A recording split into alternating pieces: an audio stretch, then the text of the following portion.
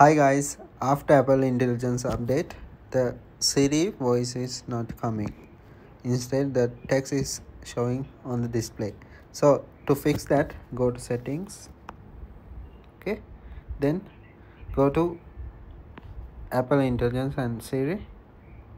And here, go to Siri responses. Now choose prefer spoken responses instead automatic.